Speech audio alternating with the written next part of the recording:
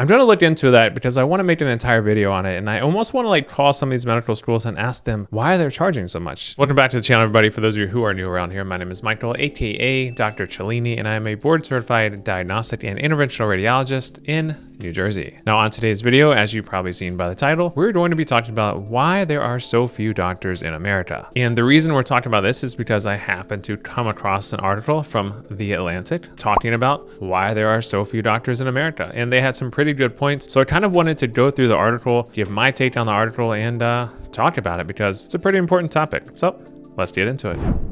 As always, I'll leave a link to this article in the description box below so you can check it out and read it for yourself. I found it through the Doximity app on my phone, and I think I get access to this article, but I'm not sure if everybody does, so it may be behind a paywall. So if you can't get access to the article, just watch this video. Okay, so let's get into the article. They first start talking about this person named Elizabeth Erickson, who is a freshman in college, who always wanted to be a doctor. I'll go ahead and read the first paragraph because this is kind of how we start off here. So by time Elizabeth Erickson was a freshman at Davidson College in 2002, she knew she always wanted to become a doctor. Because she understood that the earliest health interventions are amongst the most important, she set herself on the pediatrics track. After four years of pre-med classes, she went straight to medical school at Wake Forest University, which took another four years. Then came three years of residency at Duke University, shout out Durham, North Carolina, where I used to live, and that took her another four years. In 2014, she joined the faculty of Duke School of Medicine, and this last line is so crucial to this article and what we're going to talk about today. Her dream was finally realized at the steep price of 12 consecutive years of learning and training, plus about $400,000 in student debt. That seems about common for what we've been talking on the channel so far, so let's get into the rest of the article. The next part of the article basically talks about how this story would be exceptional in just about every other country in the world except for US because this is actually quite common in the US. The US has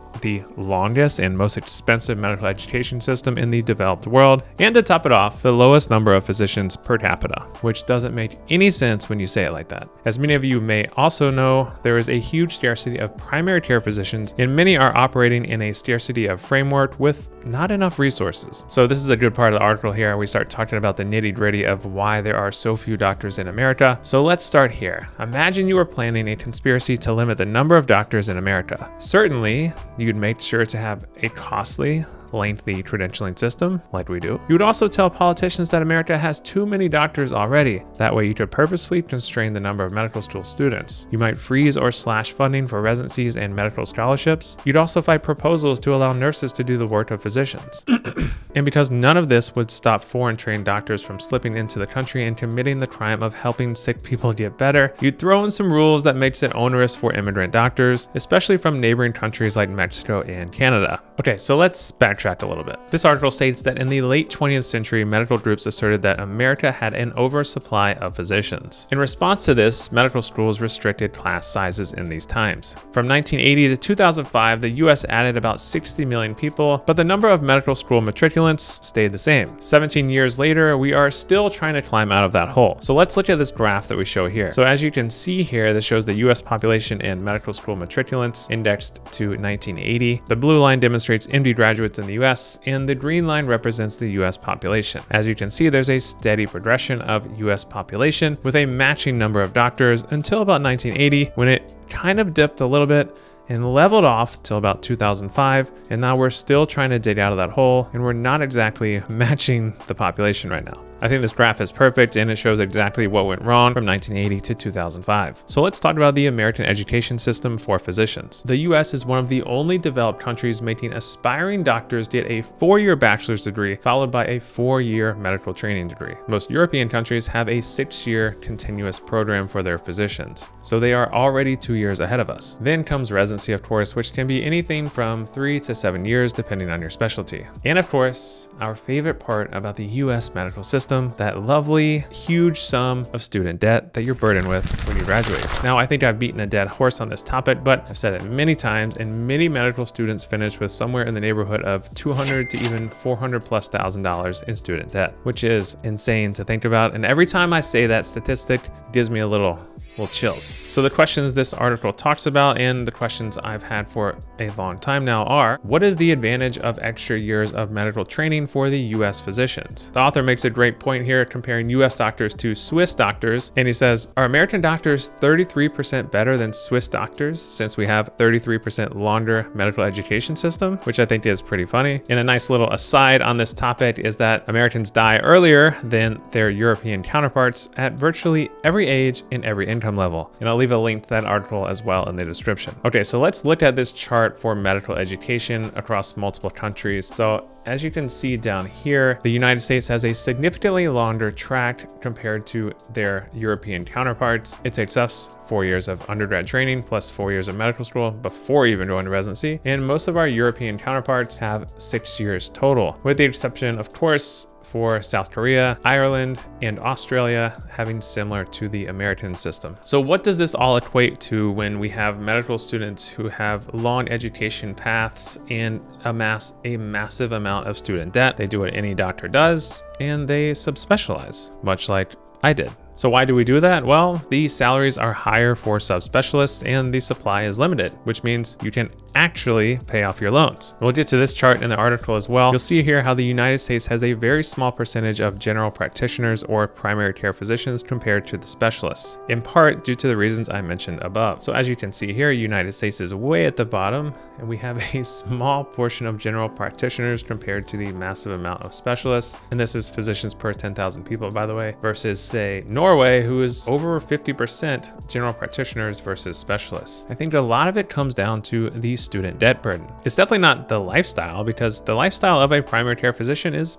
pretty good. It's the usual eight to five job. I don't think a lot of them take call. Some may take call in the hospital, but most of it is clinic based, outpatient based, and not that bad. Well, I say that relatively because I know they're burdened with seeing an enormous patient load, but all things considered, if the patient load was down, you can practice how a primary care physician is supposed to practice. It's a pretty good lifestyle. Now, this article goes on to talk more about how some doctors actually object to more competition for the same reason that homeowners object to more local construction. Docs are afraid of competition because it ultimately cuts into their piece of the pie. However, if you look at it a different way, more docs in one region can actually make life better for that particular doctor because they're not burdened with longer hours or seeing excessive amounts of patients, which improves the quality of life and prevents burnout. I love this line from the article here. It states, doctor burnout and brutal 16 hour shifts for residents and MDs aren't necessary tests of willpower. They're just the inevitable result of not having enough people to do the work that today's hospitals demand. That basically hits the nail on the head in every possible way. So it's kind of a rhetorical question, but why do we need more doctors? Well, for one, the pandemic has proven a significant burden to the healthcare system and most importantly, healthcare workers. And regarding the census, which states in the next 12 years, we will have more senior citizens than children in America for the first time in history, I think we're gonna need more doctors. Older patient population means sicker patients, which means demand for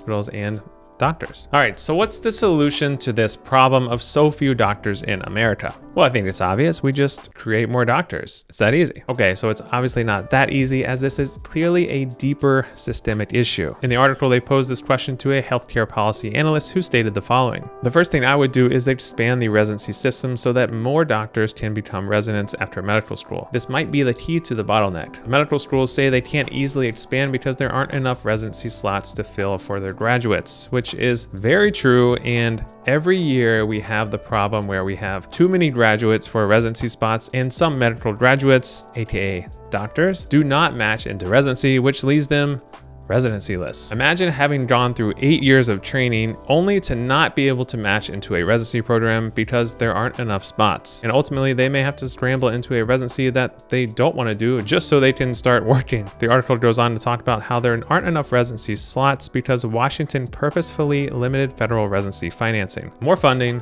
equals more residents equals more growth of medical schools, which means more doctors. Now, how do we obtain doctors? Well, we get doctors two different ways, through medical training or we import them. We happen to not be good at either. When NAFTA was originally negotiated, Canadians and Mexicans didn't want to lose their own doctors to the American market, and the US didn't want to threaten their own US doctors, so they basically created a whole bunch of red tape for Mexican and Canadian doctors to practice in the US. So how else would we increase the supply of US doctors since we're bad at training and we're also bad at importing them? Well, we could add more nurse practitioners, which could function as doctors in rural or underserved areas, but we're not going to touch on that topic because it's a little too dicey right now at the moment, and I'm sure people in the comments would go a little crazy once we start talking about that. So that's just something we're not going to touch on today. So how else could we fix this problem? Well, we could extend care to underserved areas via legal telemedicine. But the problem is we have to get reimbursement from the government for the physicians doing those telemedicine consults. Because during the pandemic, it was allowed, but it's not really 100% so far. So there's more work to be done in the telemedicine slash reimbursement space. Another good point this healthcare policy analyst stated is that we can't expand the number of doctors unless we also expand the number of clinics and hospitals, especially to the underserved parts of the country. Basically, we have to have more funding for hospital infrastructure. So in conclusion, this all seems really simple. More doctors, more healthcare infrastructures, and more care equals better healthcare outcomes. But as always, we have to crawl before we run. The article makes a great point here and states that if we put an influx of physicians into society, then we lower wages for physicians, which is okay. But the problem we would face is that we'd have to ensure that the wage drop occurs before student debt declines, because then we would have a bigger issue altogether. If wages drop before student debt drops, then we have doctors making low wages with no way to pay off their massive student debt burden. And then we have a whole other problem. Speaking of which, why the heck are universities and medical schools charging so much for tuition? I feel like if we just nipped that in the bud, we would solve a lot of these problems going forward. But for some reason, nobody's talking about the extreme costs of medical education. I'm gonna look into that because I wanna make an entire video on it. And I almost wanna like call some of these medical schools and ask them why they're charging so much. And I'm curious to see their answers. So let me know in the comments below if you think that's a good idea. Uh, I'll probably be banned at a lot of medical schools, but I'll do it for the video. Okay, so that officially concludes this video. Hopefully you all enjoyed it and hopefully you understand why there are so few doctors in America. If you have any questions, leave them in the comments below. Make sure you smash the like, subscribe button, follow me on Instagram and TikTok if you don't already. And as always, I'll see you all on the next video. Bye.